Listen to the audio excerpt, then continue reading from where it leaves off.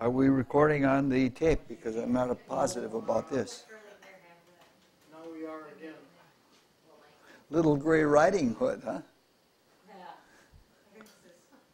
All right. This is an ongoing series of talks called Modern Mysticism. And it'll probably continue as long as my speaking life lasts, which could be a matter of 20 years or it could be less than that. We'll review a little bit what's going on. Uh, the first sub series was called First Principles. And the idea of that was to imbue ourselves with a very few principles that are the basis of everything in mysticism. And if you understand those principles, you uh, everything else is easier to everything else is easier to grasp. And the principles were the first one was called unity, and it was expressed that everything is in everything. The idea being that it must everything in the cosmos must also be in yourself, or with the within and you is connected to the cosmos. The second principle was the principle of difference, based on the concept that consciousness is born in difference. That whether you're comparing or contrasting or noting something new, consciousness is always born in difference. The next principle was action and reaction, that anytime there is any kind of action, that the other part of it is a reaction. Some people think of it in terms of cause and consequence or cause and effect, but in order to understand it in a, metaphysical, abstract way, it's better to think of it in terms of action and reaction. The uh, next principle was the principle of internality, that it is an expansion on the whole idea of uh, unity, of everything as being in everything, because uh, the understanding of things in spiritual studies is always within. And this is something that's repeated in many places. For example, in the Bible, when Christ says, I am in you and you are in me. Or when Rudolf Steiner says, if you want to know about the external world, look inside of yourself. And if you want to know about yourself, look into the world and see what you see or what you take note of. The next principle that we looked at was the principle of analogy, which is stated in the Hermetic axiom as above, so below. What has gone before in heaven will follow after on earth. Know this and rejoice. In the same way that cause and consequence are the horizontal two parts of unity, uh, the principle of analogy is in the vertical, that unity is maintained by each realm or each world or each uh, hierarchy of consciousness is vertically analogous to the other. And then the final principle we looked at was the principle of contrast, indicating that the more extreme one goes in one direction, whether horizontally or vertically, the more it begets the opposite extreme, and, but usually in the opposite of the opposite, meaning to say, the more you go into matter, the more you have the need of something spiritual to counterbalance it in extremism. But when you put all of your waking consciousness in materiality, the spiritual need is more of an unconscious variety or of a lower grade of consciousness. And that principle, uh, the statement for that was the brighter the light, the darker the shadow. All right, and now we are in a major subseries with sub-subseries within them. this is uh, this is this is tedium. It's something the Capricorns will like. They like they like tedium. Virgo likes tedium, so that that's something. This uh, main subseries is called Cosmology in Macrocosm and Microcosm. And the popular name for it is What is an Aura? And we first looked at a few general ideas of, of cosmography. This is written wrong. This is cosmology. It's supposed to be cosmography in macrocosm and microcosm. And after looking at a few general ideas, we spent time looking at the physical world because that's what we're most familiar with and that's where we spend most of our time in it. We spent a lot of time, we spent three or four lectures talking about the chemical region of the physical world, uh, which is studied by chemistry and physics, but we looked at it in a different way. In fact, we look at some of the ideas of physics, but looking at them in a more uh, uh, meaningful way than uh, the random way of physics. And we spent a long time talking about the etheric subdivision of the physical world and the different qualities that that has because if we learn to leave our body, we are going to be functioning in the etheric world, and the sooner we can accustom ourselves to the kind of consciousness that is associated with that, uh, the sooner we will be ready to be functioning in that world and be valuable to that world. Now we're going up one step in the spirit matter pole, and that one step up is into the desire world. And uh, when we begin talking about the desire world, we're talking about a completely different world. When we talked about the etheric and the chemical subdivision of the physical world, we said they were both physical because uh, even the etheric energy is subject to gravity because that gravity is, has to do with physicality. But when we come to the desire world, we're in a world that is very, very different. The principles and the laws and the functioning of the desire world are different than the principles here. There are analogous things which we will begin looking at in a few minutes, but it is uh, a different world. Now, we have our waking consciousness primarily in the whole life cycle from rebirth to rebirth. Our waking consciousness is mostly in this plane. We are awake even in third heaven, but not in the same way. It's, uh, if we could have full waking consciousness in third heaven, we would all be super theorists. And the ability that we have to deal with abstract uh, thinking here is indicative of how awake we are when we are in third heaven. But at any rate, we spend a humongous amount of time here, and we have developed a materialistic bias. Uh, and that bias is covers every one of us, myself included, because we think of things, when we think of things, we think of things as they are in this world. For example, most human beings, when they think about the cosmos, think about empty space being filled up with planets and stars and galaxies and things like that. And that's, that's true. You can't deny those things. Those are facts. But they are only the surface and they're the part of the cosmos that is probably of the least significance, necessary but not of the greatest uh, importance to the way of all things.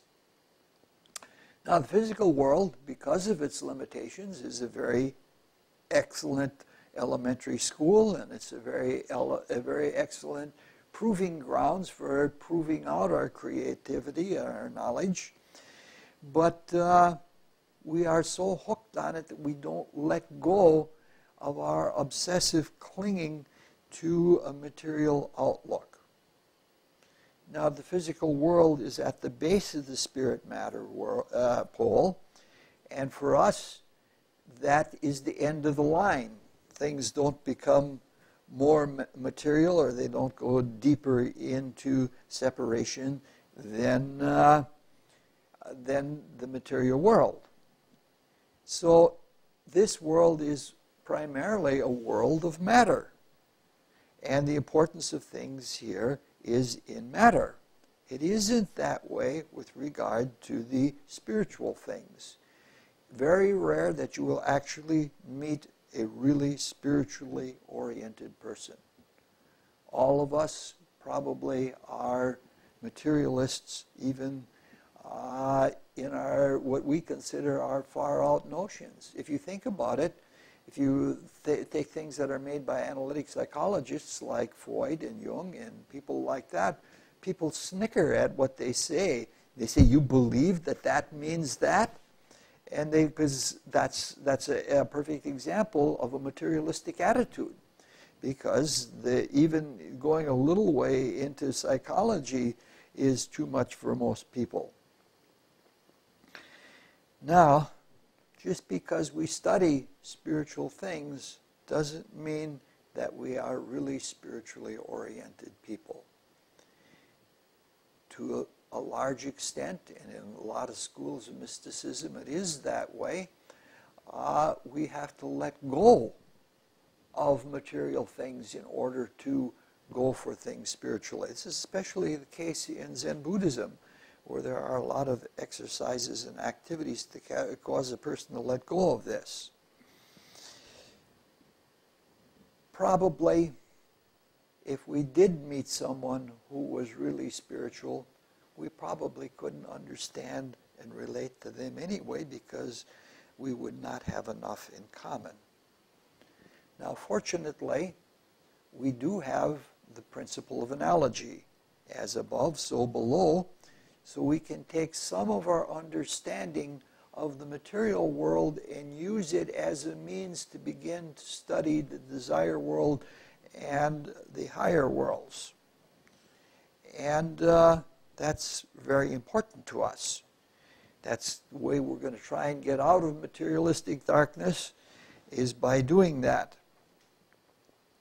if we recognize that we are inseparable from the universe and that we correspond to everything in the universe, therefore, everything that is in the universe at all of the different levels of being that we can conceive of, uh, we can experience and we can come to know them. And that's a very important thing because once we have that attitude, uh, it may be very hard to learn and to become something different than what we are, but it can be done. In fact, it must be done because our destiny, more of our destiny is spiritual than it is material, and what we are becoming is not going to be better material people, though that might be along the way. Now, form is a receptacle of meaning in the higher worlds, form and meaning, or form and life, or matter and spirit are much more in the direction of inseparability. And the desire world, which is only one world up in ascending the spirit matter pole, the uh, there is an inseparability between meaning and the form that bears meaning. The meaning is within the form, but it's not quite the same way that milk is in a bottle. Uh, it's a different way that it, it's more like if we have some, somebody is smiling, the attitude of glee is in the smile, and that is the way that the life or the meaning of the desire world is in the form in the desire world. Now, when we talked about the etheric subdivision of the physical world, we noted that one of its characteristics was polarity. We mentioned that this was likely due to the fact that it was transitional between the worlds that are primarily internal, or that within this quality is stronger, and this world where everything is external. There's almost no internality to the chemical region of the physical world. The example that I have given and given and made very often is if you want to know what it's like inside of an egg, if you break the egg open, you have a new outside. You don't have the inside of the egg because you're not seeing it inwardly as it is inwardly. And this is borne out by the fact that each of the four ethers has one of its pole, poles that corresponds to things in the spiritual worlds and transmits things from the spiritual world into this outer world. It's uh, one of the, uh, you know, for example, the ethers, because of the uh, uh, closer tie between life and form, and because of this type of polarity, uh, it has a withinness, such as we find in uh, the Heisenberg principle, where you don't know whether something is a wave or whether you don't know, know whether it is a particle. And the same thing is involved with entanglement, that things nearby are relate to things at a distance. Now, when we come to the desire world, we're on the other side of the ethers. And that means several things with regard to what we're speaking about. First of all, the quality of withinness that is often express, expressed as throughness, as a greater dimensionality, is much more important in this world. In fact, it, the it, withinness is extremely important. Even the way we experience withinness is within, which means it's more direct this is something you can try as an experiment. If you're emotionally close with someone, you can feel what they're feeling inside of themselves, inside of yourself, as though you were inside of them. That's an example of sharing a common withinness. I can remember when this became very apparent to me I was waiting for someone. It was sort of a dreary day. And across the way, I saw this woman light up a cigarette and take a big drag. And I wasn't observing like uh, in, inspecting something, but I was watching and I was open. And I could feel inside of myself the desire she had for that cigarette and I could even feel the satisfaction that she felt when she took that drag inside of her.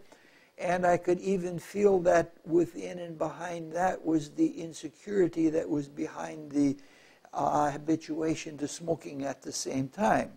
And it's some, this is a, an example of uh, seeing the within of someone else within yourself.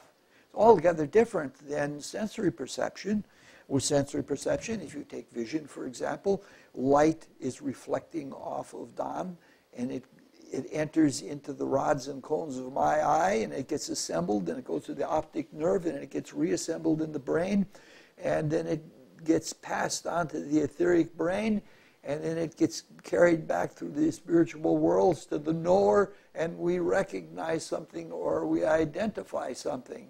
But everything that we're looking at from the beginning of the process to the end is reflective.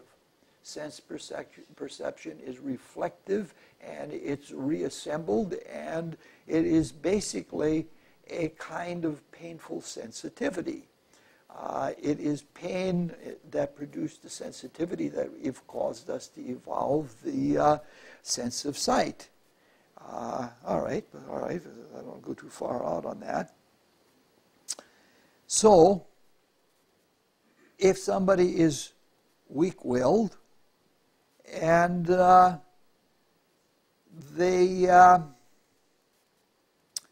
are sensitive, they are suggestible. That is, that they sensitive people have more of the inner kind of consciousness. A person who is totally sensible and perfectly adjusted to the material world would laugh at everything that's said in this, in this room. And they would think that's all gobbledygook and what are you wasting your time with things like that.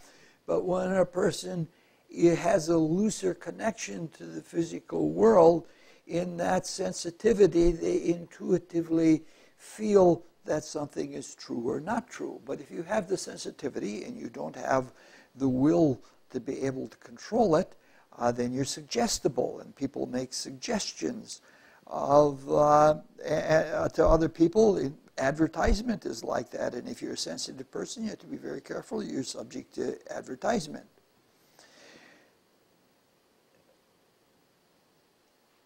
What we're talking about when we're talking about sensitivity to the desire world, it's not all fun and games. Uh, what we're speaking about is something that we want to use very practically, something that we can take into our lives and that we can live better lives by understanding what is behind what happens in this world so we can go along with the purpose of it. In uh, doing this, we are not highly sensitive to our own emotions. Something, this is a theme that we're going to come back to several times, in fact, more thoroughly, probably in the next talk from this one, that most of the time we're not conscious of our emotions, and only the extreme emotions, such as anger or passion or something like that, are the only time that we're aware that we're emoting, even though there are all kinds of emotions going on all the time. You can tell that even by looking at somebody's face. Very rare that somebody has a mute face, that there aren't many different expressions rippling across it. and when we do have emotions that we don't like or desires that we don't like, we don't even admit to having them. And in such cases, we often project them and we project them onto others. That's the trouble with the withinness and the unity of connectedness with others. It's very easy to have the illusion that what is in yourself that, that you are seeing that you don't want to admit to, it must be in the other person. Uh, in street language, it's saying you're always looking through your own aura, and the things that you see in somebody else's aura may not really be there. They may be in your own, which is why we have to have such an acute sense of observation. We have to have a humility to be willing to accept everything that we see in our observation, and we have to be able to very clearly discriminate one thing from another where the source is of something that is uh, uh, coming to our consciousness. We've all been in situations where there has been, especially with people that you've become very close with, and then things aren't going so well. And then you have those arguments he said, she said, he said, you know, and neither one wants to admit that they are the origin of at least part of it. And the projections go back and forth like the proverbial hot potato. We'll come back to this later on. There's another thing that we can learn about the aboveness of the desire world from the material of this world. Going with the statement of Hermes Trismegistus, as above, so below, what has gone before in heaven will follow after on earth. Know this and rejoice.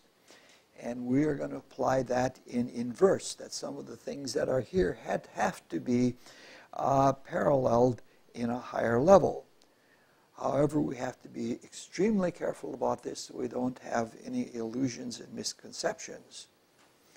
Now, when we spoke about the chemical subdivision of the physical world, we spoke about stuff and organization of stuff at various levels. For example, we spoke about particles coming together in formations to produce atoms, and atoms coming together in various ways to produce compounds and molecules. And then out of those substances that are made up of molecules, how we could make forms that were gross forms that were not uh, united necessarily by uh, some kind of cosmological substantial connection. So we have to be very careful in doing this. Now, hmm the term atom, when it's used in mysticism, we have to be very careful about it. In science, an atom and the constitution of an atom is very clearly, clearly defined. Atoms, as spoken of in philosophy or in mysticism, often mean just something of a very small base.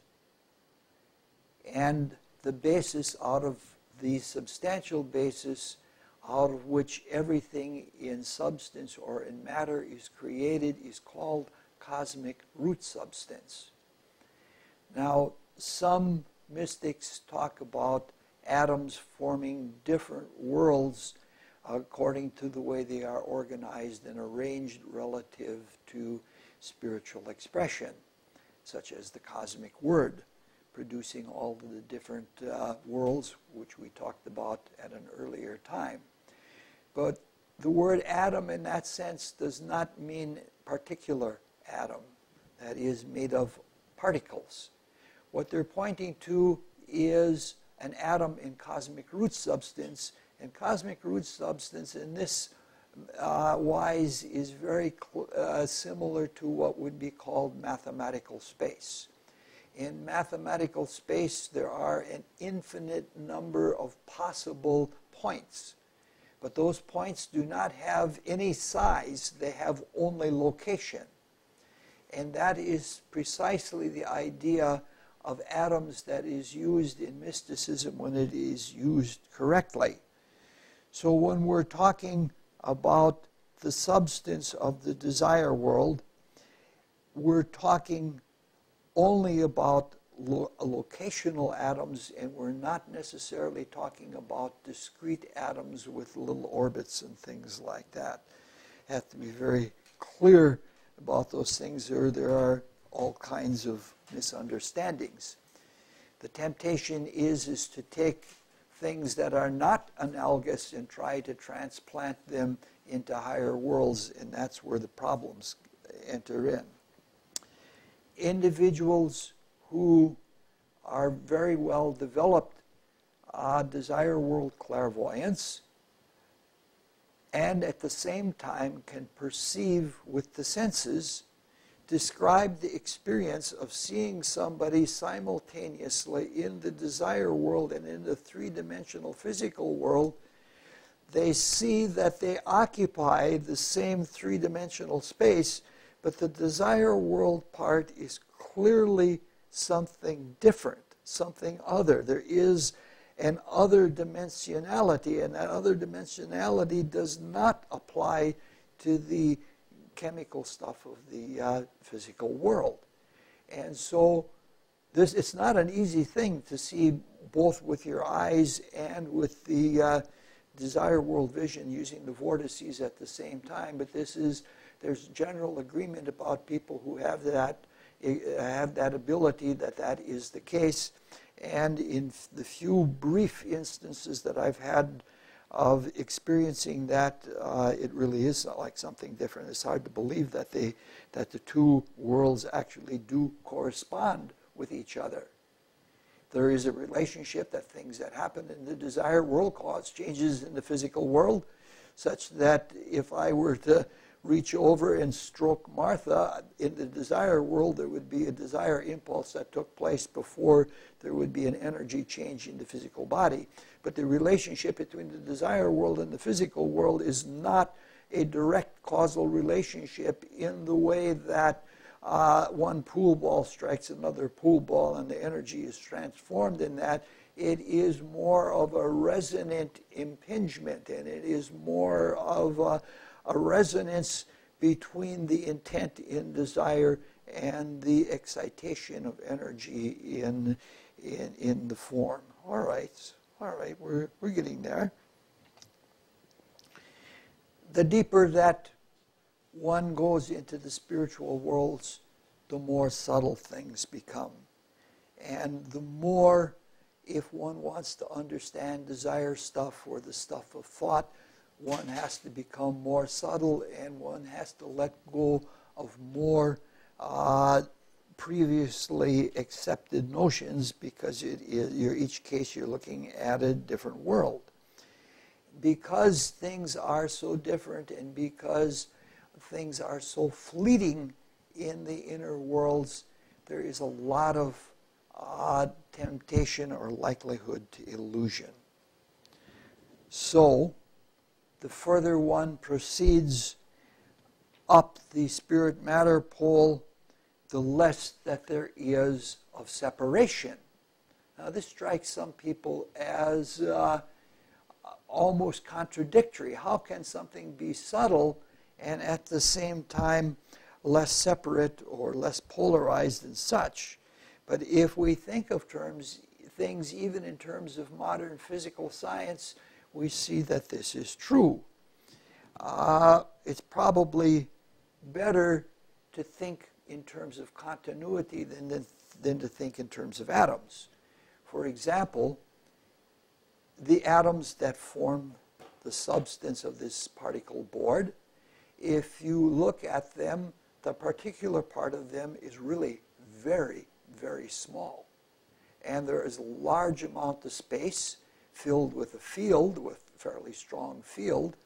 And then between the atoms that form the molecules, there is even more space.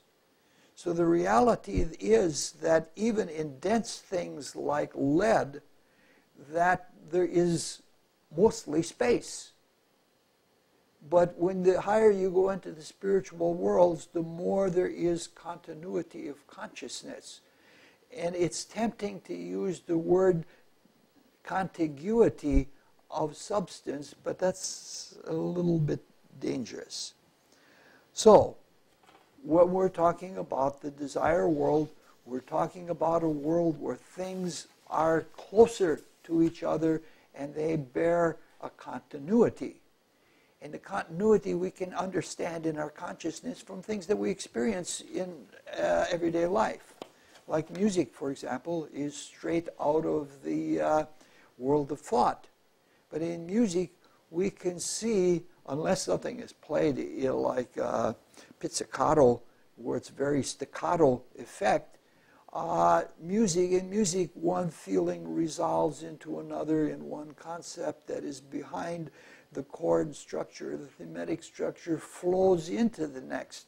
And that's a good example for beginning to understand the uh, continuity uh, of the higher spiritual worlds the more one penetrates into them.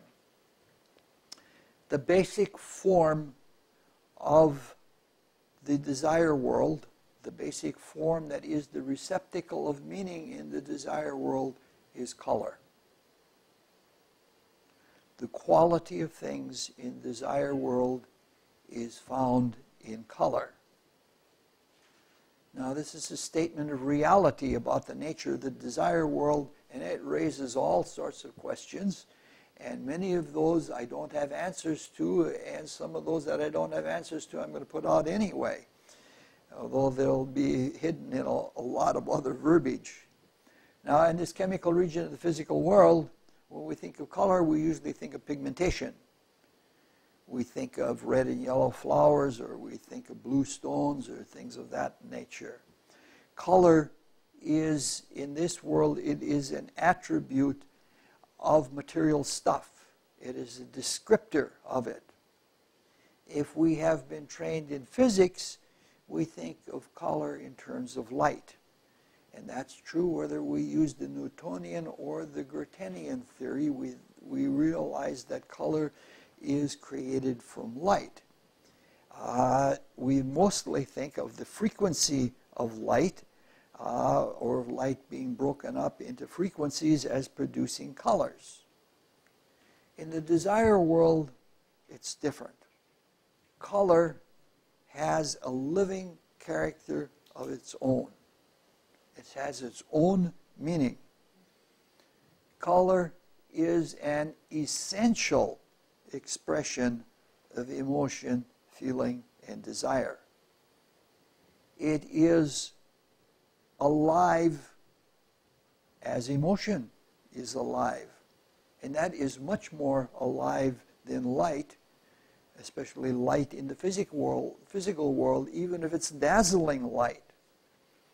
It's a living source of sentient life, desire, emotion, and feeling. And uh, it's more alive. It's, you know, is it a product of light? Probably, but not the light that we're talking about when we're talking about Einstein's equation or what is being emitted from these bulbs. Uh, we're not talking about light and color in the sense of physics. We are in a different world.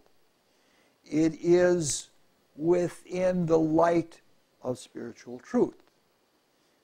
But that's not exactly in the sense of wavelengths, even though there are a lot of parallels and there are a lot of analogies. To get back to color, it is an ex- essential expression of emotion.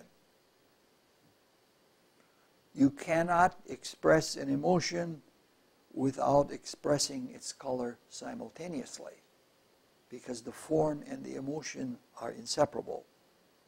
That's the way it is. The higher you go into spiritual matter, life and form are closer and more inseparable.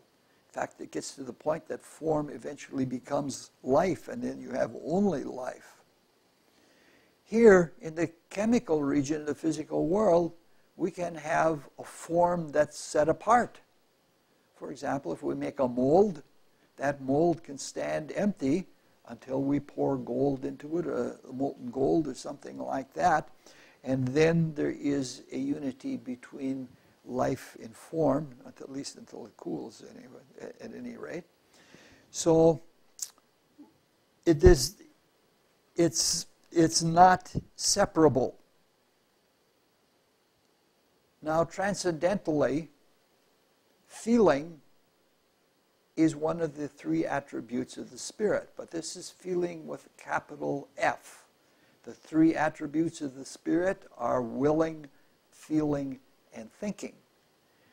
And the, the desire world is a lower manifestation of feeling from a transcendent creative world where real feeling is created, as if our emotions themselves aren't real feeling. Uh, you know, it's, it's, when you start talking about spiritual things, it's you know, it's like trumping aces and then trumping Trump or something like that. It's it's it it, it becomes so glorious that we don't have words or conceptions to carry it. In the manifest concrete worlds, spirit, which is the source of everything concrete, the attribute of feeling comes to its greatest ripeness in the desire world.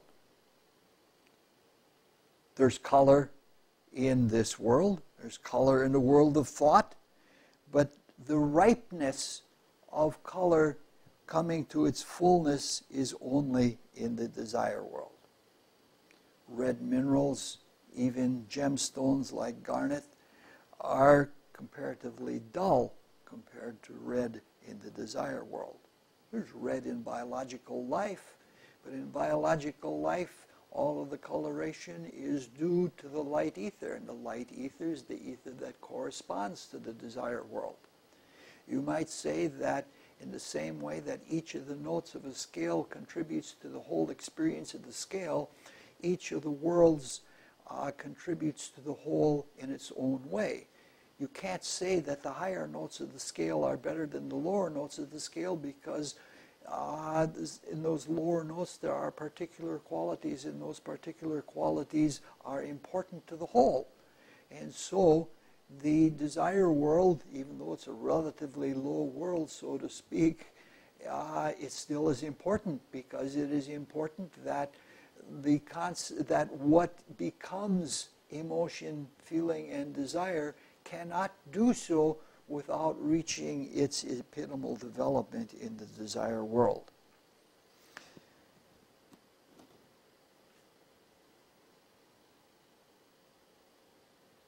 I'm lost in my notes here, so I'll have to. Okay.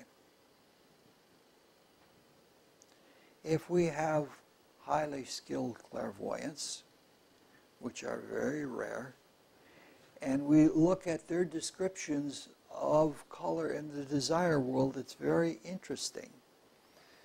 This is probably because color is common to all form. And since life or the meaning of life is more in the direction of spirit, it's more likely to be closer to the things that are known because the spirit is the known and the knower. The things that are becoming are more associated with uh, matter and material. They are the things that are unknown, but in the process of becoming known, become spiritualized. Sometimes, well, let's see how to say it. There's more meaning in spirit than there is in matter. But the relationship between spirit and matter we have to be careful of because there are likely to be illusions about it.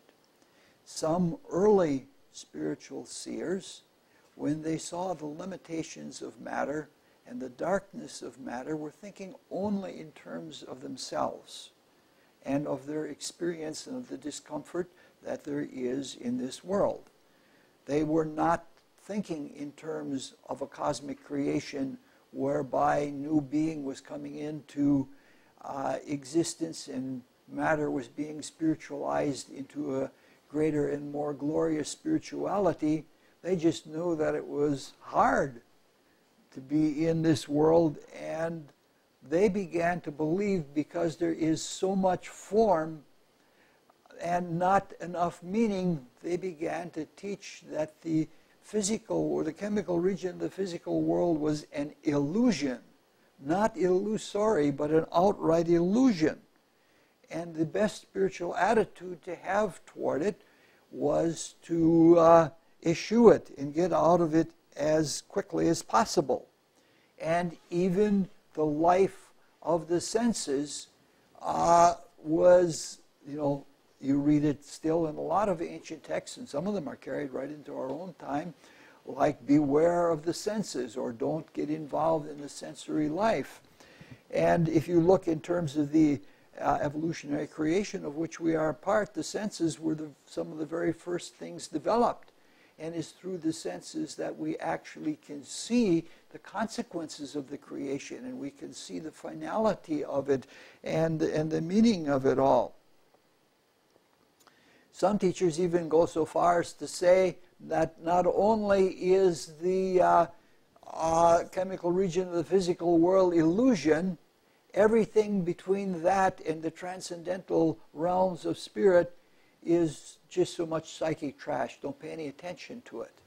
Uh, as, as if, you know, that things weren't coming ripe and weren't being created in this. Some of these things still exist. I consider them almost blasphemous uh, because it's, you know, it's like saying that all of this is here to fool us or all of us, this is here for us to escape it, and not that there isn't some very, very important thing that comes out of it. Anyway, if we have a developed seer, this is the way a seer often describes the relationship of emotion and color. In desire world clairvoyance, one experiences a feeling upon seeing a color that is similar to the feeling one experiences upon seeing that same color in the physical world. So,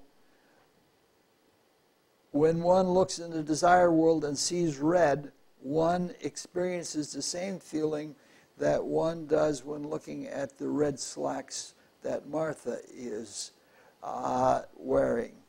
But we have all kinds of other loaded things uh, with relation to the forms in the material world. And it is true that relative to the desire world, the perception of red in this world is very much muted. It's almost overwhelming. You're almost knocked over by color and light in the desire world. The feelings are so strong. I'm sure you've been around people that are really strong feelers that can almost knock you over with any expression of, uh, of uh, feeling. So, in the desire world, clair- in desire world clairvoyance, one experiences a feeling upon seeing a color that is the same, similar, or the same as the feeling that one has when perceiving that color in this world. It's an awkward way of saying this, but it's very, it has a bunch of things in it that are very worthy of our attention. The first is that, again, color and feeling or emotion are intimately and uh, essentially bound up with each other. No matter what world they are in, they're, they're inseparable. Since we already discussed this, we don't have to go into that already. Another thing is, is that feeling or emotion is expressed in the observer. There certainly is feeling out there, but it is not known until it is experienced within the observer. This is, this is that withinness or that innerness of the inner worlds. And the physical world is way outer by comparison. Now, the truth might reside in the thing that is observed, since everything is in everything, must also be in the observer or it couldn't be known. So this tells us about ourselves if we want to become desire world clairvoyants, we have to be purified. We have to be purified of, um, how, to, how to say it? We have to be purified of not having personal feelings. You know, some people say, I don't like red. And that prejudices them from experiencing the nature of reality or the feeling that is behind red in a way that is objective. So there has to be a purification of personal tastes or personal likes and dislikes. It is not like things are here where the observer is observed outside or can be the observation can take place from outside you know like uh, telescopes now especially telescopes in space can resolve down to a very few photons and the observation is done by the machine and that's not a withinness, that's an outer quality. And you can learn something about the effects of something, but you cannot learn about the internal meaning of it. That's not the way it is in the desire world. You have to be able to experience it in yourself. This means you have to develop yourself.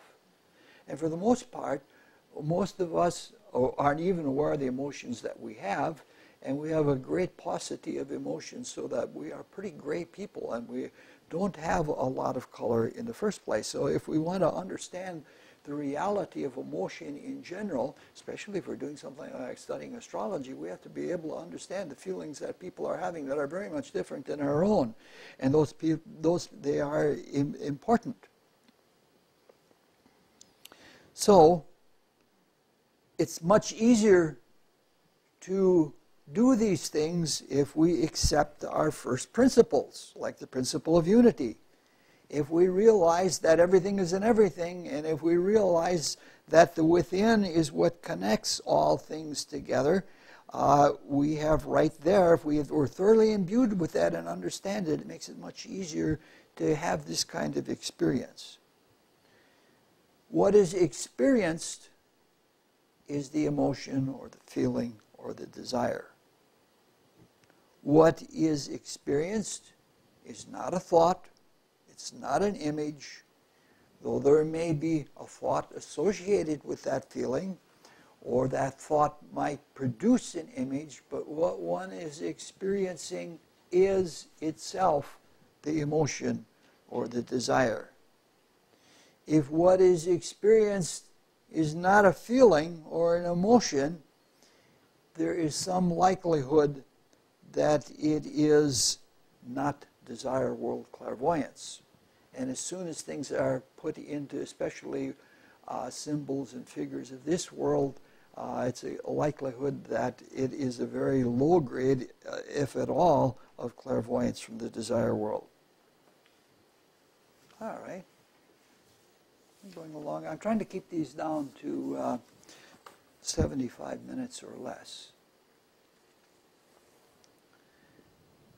For now, it should be enough to uh, establish, have established the connection between life and form, between meaning and form, and between emotion and color. So now let's, we're going to come back to that more later because we're just introducing things now. So I don't know how, to you know, I think, uh, I'm sort of a person that spends most of the party introducing things and not having the party itself. The principle of uh, analogy in, in verse uh, works very well for understanding some of the greater or the grosser types of form in the desire world. In the chemical subdivision of the physical world, atoms unite and form compounds, and compounds can be brought together to form objects like machines and uh, works of art and things like that. Individual emotions are not quite like atoms or compounds, but they do come together because there is an affinity. We're going to find out the one thing that is common throughout the desire world is attraction. And it is an affinity, which is to say that the basic emotion underlying all other emotions is the attractive emotion of love. And if we go back to the thinking, willing, and feeling, the divine love, the altruistic love are found in the life spirit, which is the feeler. So we can see then that things do come together. This brings us to a very far reaching subject that we touch on occasionally, and I only talk a little bit about it. And this is one of those times, and that subject is time. Time is a potential, and it is not the way necessarily that physics relates to time. It relates to the desire world in a different way than it relates to the physical world. In general, time is more important as one ascends the spirit matter pole because the more remarkable one's spiritual experience is, the more densely packed even what would be called a small amount of time is. It's filled, time is filled completely with experience. It's filled completely with experience, which in consciousness is like that contiguity that we talked about before, where there is a continuousness in the spiritual worlds and not the empty spaces as there is in the more material worlds. In humans, the desire body is only in its second stage of development. The dense physical body is in its fourth stage of development. So the dense physical body is extremely well developed and very much under our control the desire body is quite undeveloped. And the desire body is very low in its organization. And it's not because of the simple nature of the desire world, it is because of our inexperience of working with desire. The human desire body does have some organization in the form of stratification within it, uh, but there are no such things like organs or things like that. There are vortices, which we will describe eventually, that are like whirlpools in various places of the desire body. And they are for uh, observation, but we will come to those at another time. Now, because we as humans are so inexperienced in our feelings, emotions, and desires, they are usually short lived. Yes, sometimes we may hate somebody for decades, or we may have a mood that lasts for a month or a year or something like that, but most of our emotions change very, very quickly. As a result, Desire World Clairvoyance all agree that the human desire body is in a very rapid state of change. All kinds of emotions are passing through one, whether one is aware of them or not. In fact, uh, spiritual unfoldment, uh, we, we awaken to things that we never knew were possible in us and that were going on all the time. We're not even aware of what's going on in us physically. Each one of us makes about 3 million uh, red blood cells every second. We're not aware of that either. So a fleeting emotion or a burst of color may last only a, a second or a fraction of a second. Now, if we keep in mind that as we go up the spirit matter pole, the uh, importance of extensive things is less, and the relationships that are of intensive things are more important. Like to understand space, you have to understand it in terms of extension. But when you get into the spiritual world, space is meaningless or relatively meaningless, whereas time is all important. And uh, so the relationships of time, because of the commonality of potency and everything else with the subtlety of the higher spiritual worlds, things are more intense. One obvious thing of this is, is that emotions and desires that are more intense will prevail over those that are less intense. Uh, my common example of that was right next door here was the neighbors that used to live there had a little dog called Pokey. And little Pokey was a real gentle, sweet little dog, but if any other dog came into the area, Pokey was at him. Even big German shepherds he could chase away because he had the intensity of desire. And it wasn't, you know, like, hey, my size does it all. In fact, there are even small animals that can chase away bears uh, using that same principle. So, the dense physical body is highly developed, the desire body is not. And our feelings are disorganized, unconscious, and not of many different kinds of uh, qualities. Now, if we keep in mind that uh, the more intense things are, uh, that that is important. Intensity and duration are more important and, signif- and significantly intertwined as we go up the spirit matter pole. For example, things in the spiritual worlds, the transcendent spiritual worlds, are extremely subtle. The spirit intends, and the whole cosmos comes into being. And it's because of that subtlety that there's more power in that subtlety, and not so much is spent in out of oneself in the process of creation. In the desire world, the I, a desire that is intense is likely to have a greater longevity.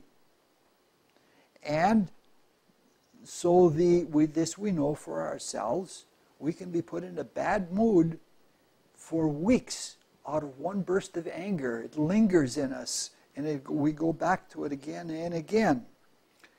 So the creations stay with their Creator. So the emotions, even brief emotions, uh, if they are intense, will linger. And the funny thing about desire is, is that we're such habitual creatures that we take the easiest route. And once we experience a desire, ever after that, it's easier to experience it again. And we're likely to repeat it, and each time we repeat it, it becomes stronger. And the stronger it becomes, it becomes sort of like a nexus of desire. You don't want to think too much in terms of form, but the, a whole bunch of individual desires begin to coalesce together. And they begin to have forms. And those forms suggest the nature of the desires that make them up. For example, example aggressive desires would produce monsters and fearful desires would uh, would you know would be like scary cowering kinds of things and loving uh, loving emotions are like uh, flowers wishing somebody flowers or something like that so the forms do suggest the attitude but the forms are not as important as the attitude collection that is behind them the inner feelings and emotional uh, emotions form sort of an emotional structure.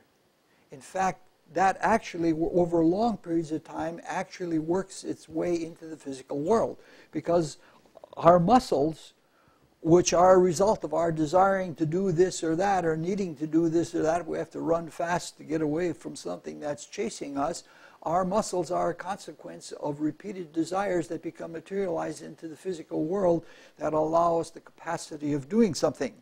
So the motivation is actually the source of that which accomplishes the motivation in the physical world when you see it extended out over time. Now, the structure or the pattern of the emotions inside of the uh, form that is produced become pretty coherent.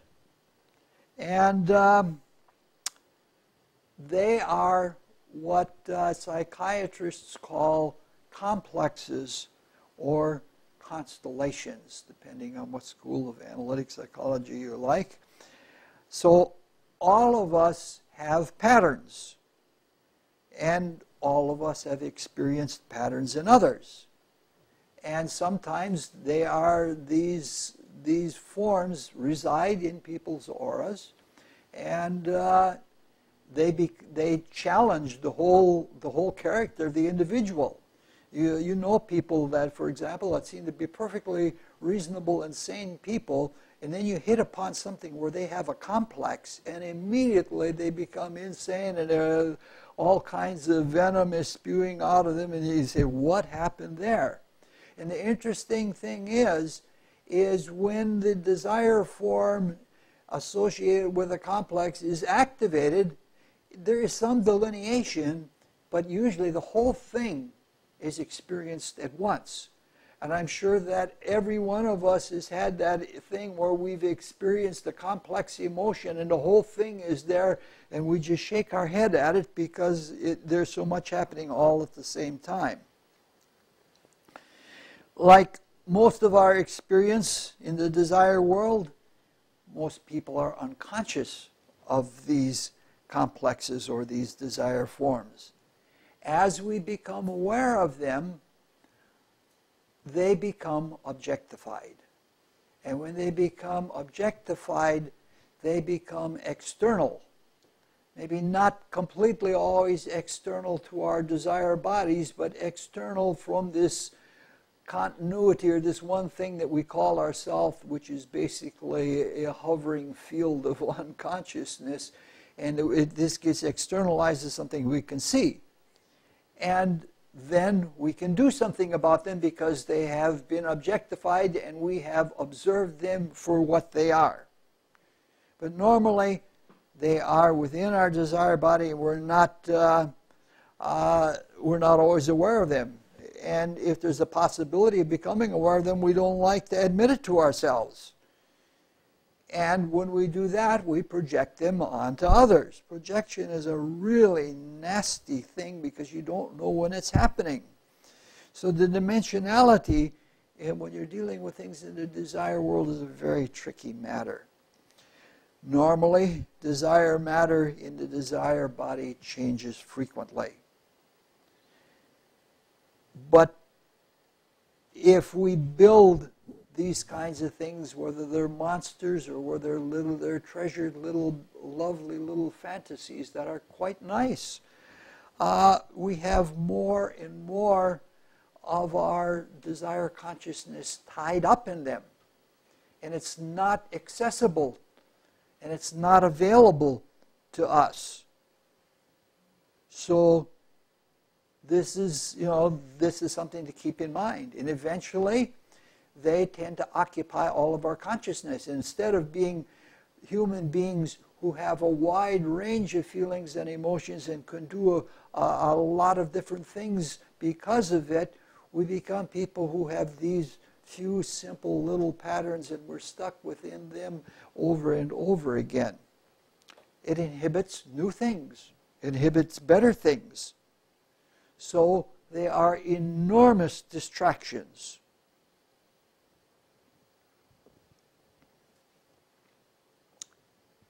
Moreover, they are live. Remember, we are one step up the pole of life. And this is something I'm sure Luke and uh, uh, tell, can verify this that you can be working with a patient and there is a complex that was developed perhaps many years ago that a person keeps in repression or intentionally forgets about or time goes on and they think it isn't there and you strike the right nerve and the whole thing comes up again and even the experiences under which the complex was developed comes up and it's as live as it ever was. And so like our inner life is very live even though we do try to uh, bundle it up in various little cocoons and uh, make them become dormant. Now sometimes they are not dissolved even after death and they linger. And obviously, because the desire world at large is like the desire body in small, there is attraction. And these forms are drawn to people who are of a like nature. And they can bother you, and you can be bothered by something, by entities, and not even knowing that, knowing that it's happening, that suddenly you find yourself in this swoon of this kind of feelings of this and that, you don't know what it is and these things are around, and they're they're uh, they're they're very bothersome. Sometimes they come back, and uh, they challenge a person in the next rebirth. Uh, there is a special, there's a relationship about uh, schizophrenia that there is between the ages of 12 and 20 uh, schizophrenia happens quite suddenly. And very often the schizophrenia is a result of when the desire body is born and activated, a desire body from a past life is born and activated.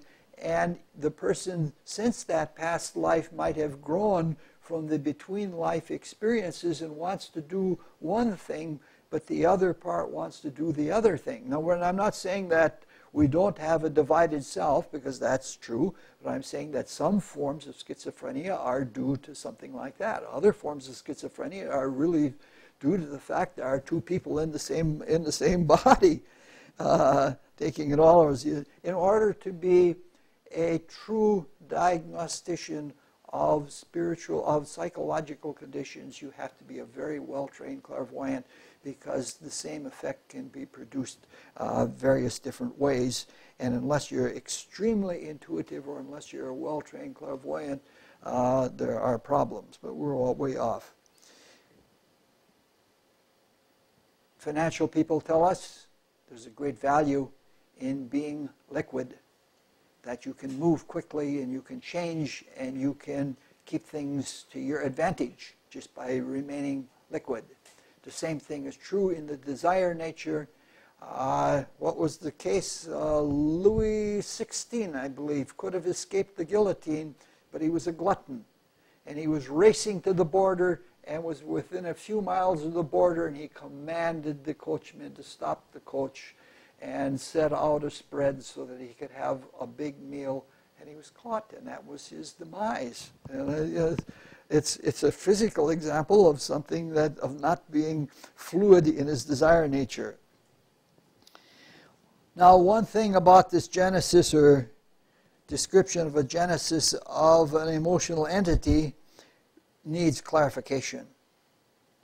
Now, normally when you hear something like this, you get the idea that is similar to what happens in the physical world if you use modeling clay or if you use sculpt metal or something like that. You start with a base and you add on and you add on until you have produced the uh, form that you want.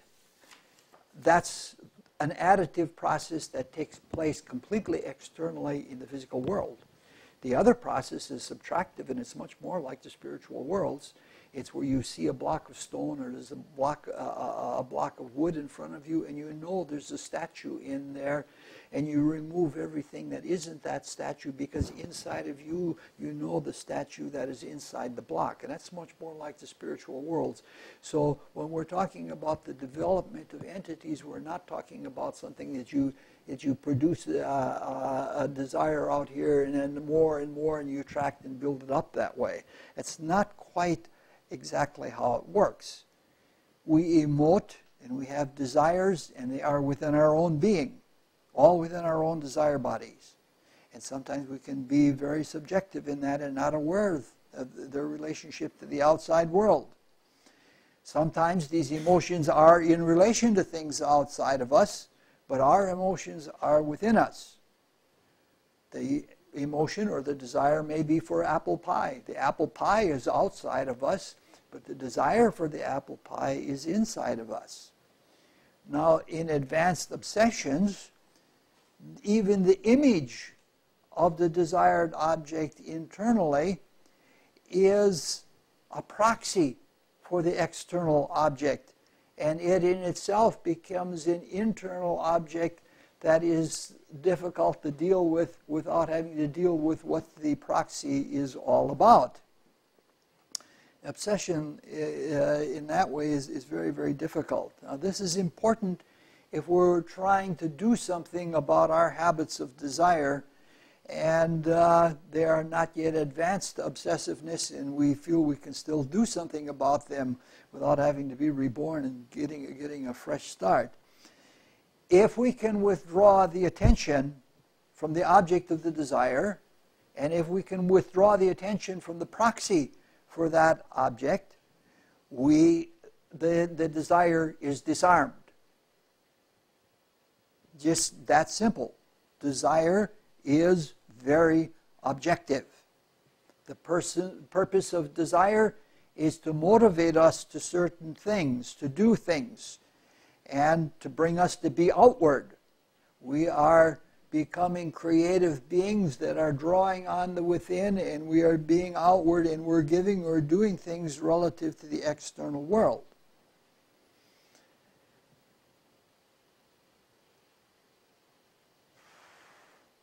in any case, oh, the, probably the best thing that we have to deal with this uh, is um, substitution.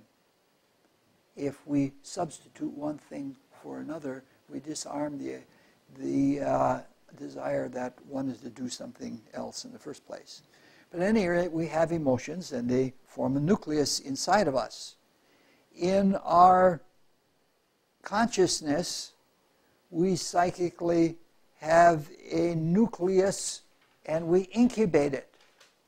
It's something that takes place inside of us, and it's not like, again, like the sculpt metal outside of us. And we know this from our language. Our language tells us very clearly.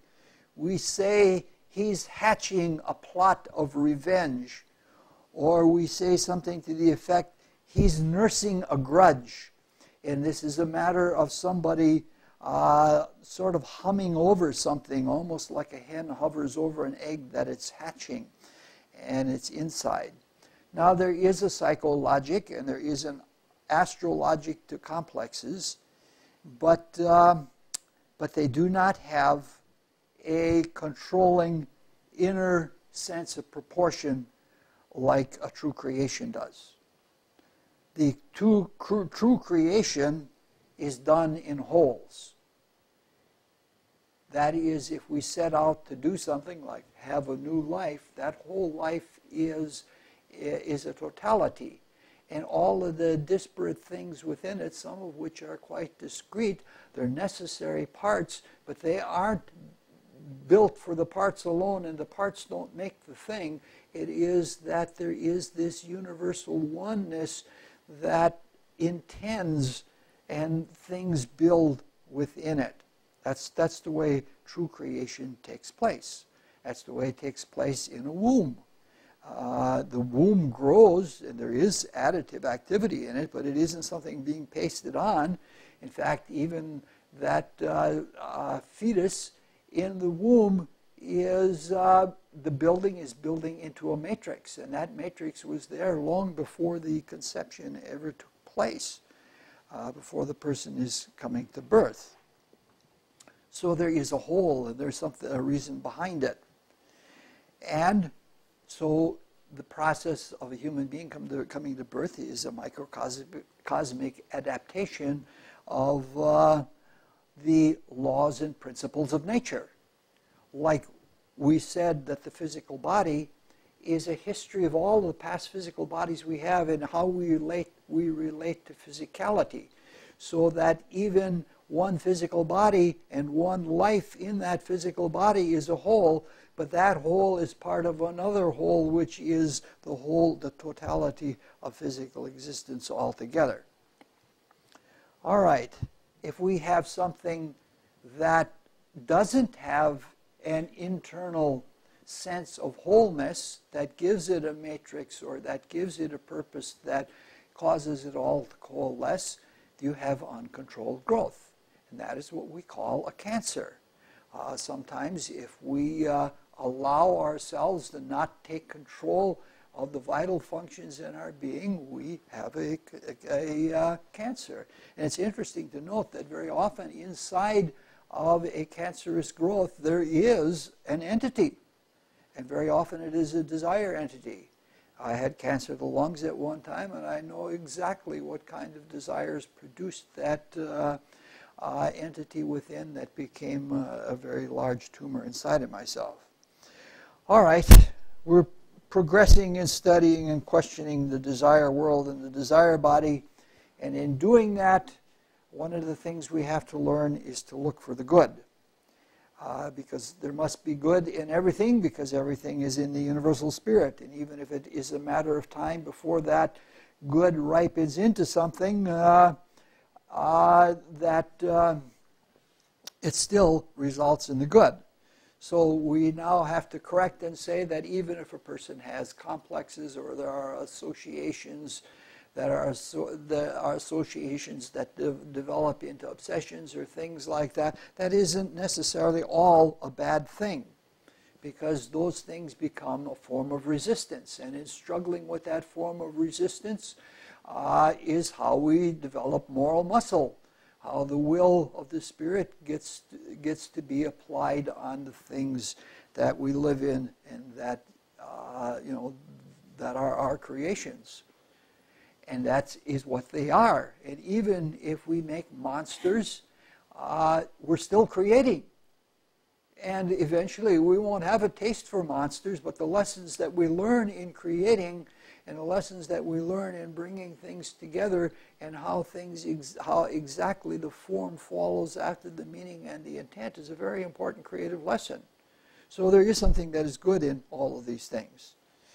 And that's about all we're going to say for tonight. Uh, we'll, I don't know if we'll continue exactly on from there or whether we'll look at the desire world in a different way and then try to pull, pull a bunch of things together at another time. Yes?